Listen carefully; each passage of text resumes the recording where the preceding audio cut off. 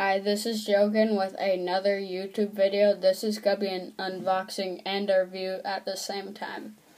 So today I have a USB mini fridge.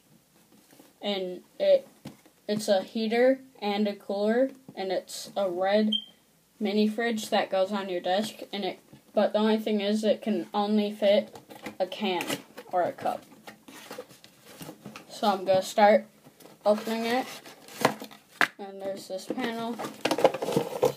This is the cooler, and this is the on and off switch right here.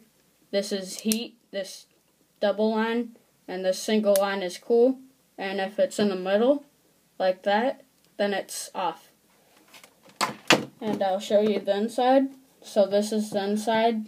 The um, cool plate is right there and hot plate. And then there's a heat sink in there, and on the bottom there's a fan, and there's four little feet.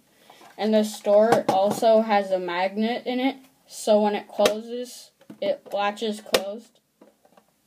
And it has a handle on the side, and has the wire. And that's basically all, so I'll see you next time.